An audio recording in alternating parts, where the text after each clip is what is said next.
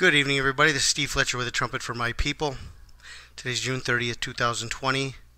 Hope you guys are all doing well tonight. Wanted to uh, see how my new sound system is uh, working.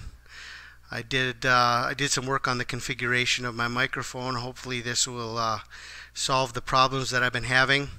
All the tunnel sounds that I've been coming across on my videos.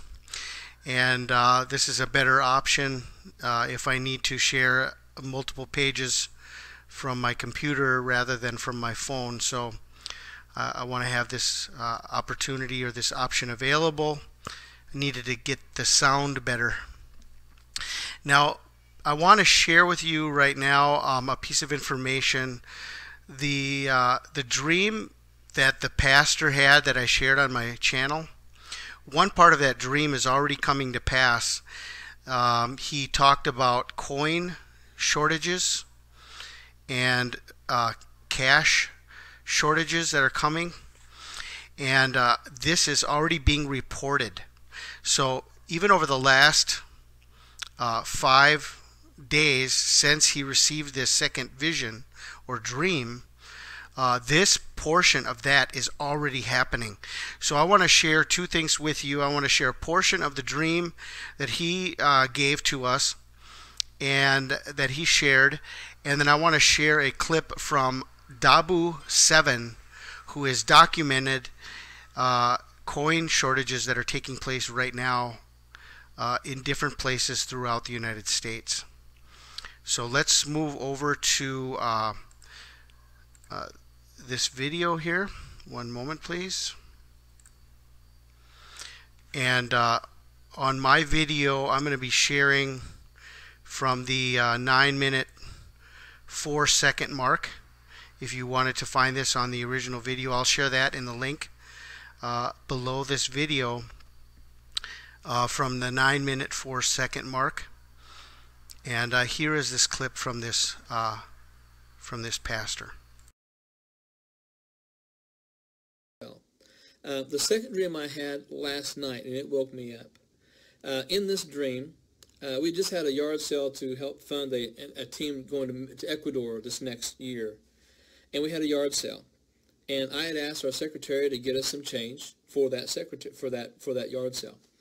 So in the dream that I'm having, I walk to the bank. I walk into the bank to get some change. And on the door it says there's no change available. I saw the sign, it registered in my mind, but I walked on in, and the president of the local bank was at the teller station and she had she was going to be taking care of business. And I said, I need to get $10 in quarters for a yard sale. And she said, I'm sorry, but the U.S. Mint is no longer making currency or making change like pennies, nickels, dimes, quarters, half dollars. We're not doing that anymore. And I said, well, what do you mean? She said, they've stopped doing it. And I said, well, how are we going to be able to charge a dollar fifty for anything? And she said, prepare for hyperinflation and just charge $2. And then she said to me in the dream, oh, and by the way, $1 and $5 bills will follow soon after that. And then I heard those words, brace yourself, brace yourself, brace yourself. Okay, now I'm going to share this clip from DAHBOO 7. This is DAHBOO 7. I want to point something out here real quick in terms of the coin supply. This was first brought up by Ryan that was telling me about it and showing me images, and then I started hearing other people talk about it. Now, here and there, throughout the past week or so, I've seen more images. Then Mike came back around and dropped it and was like, look what I just seen at the store. Now, over here, in my notifications, picture after picture here of the same thing, all from different places. They all have been, but they've all been saying the same thing. Attention customers. If you didn't know, the U.S. is currently experiencing a coin shortage.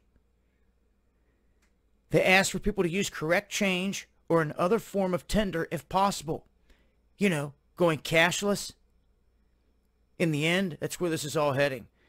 Once the coins are eliminated and taken out right in front of your very eyes, which is what's happening, the bills will be the next thing as they constantly keep jerking the chain out here on this world stage. Oh, this is okay. That's not okay. Oh, this will cause this. Well, this won't. That's safe. Now it's not. That was spreading it. Now it's not.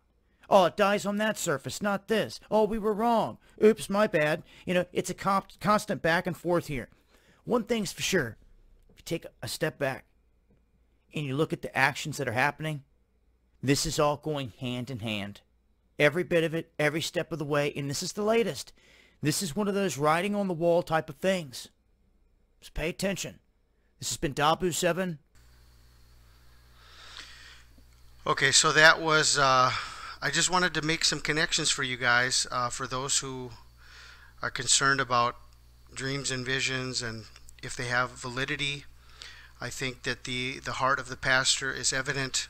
He's sharing out of deep concern and uh, deep conviction that what he has received is from the Lord, and I just wanted to connect for you guys that this first portion of the dream is already coming to pass. Okay? And uh, I will uh, share all the links for you guys in the description box. I pray you guys are blessed tonight. This is Steve Fletcher. Trumpet for my people, the sign of his coming revealed.